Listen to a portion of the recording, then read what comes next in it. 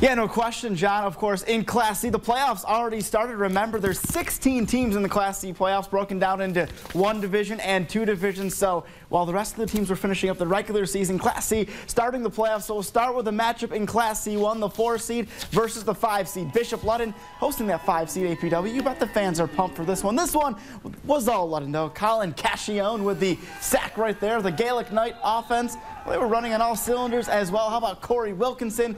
Big run here at the end of the first half. Ludden with a 36 to 8 lead at the halftime break. Second half, more of the same. Wilkinson gets the call. Nobody's going to catch him. 22 yard score. Ludden up 43 to 8 at that point. Now the defense was relentless all night. And how's this for a lineman's dream? Defensive lineman Jonathan Matchuk steps in the passing lane for the pick right there. That's something he's been waiting for for a while. All that hard work paying off right there. Congrats to him. Ludden advances to the quarterfinals with a 29-point win. 43-14 was the final.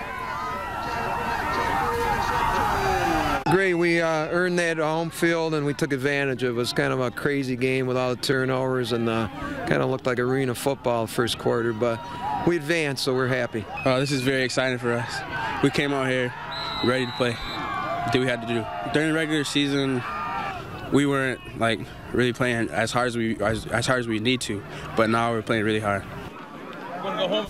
So the stage is now set for what should be an epic Class C1 quarterfinal game next weekend. Bishop Ludden taking on Skaneateles. Remember, the Lakers won big tonight, so that game is set for next weekend. We certainly can't wait for that, but for now, that's your Toyota High School Game of the Week.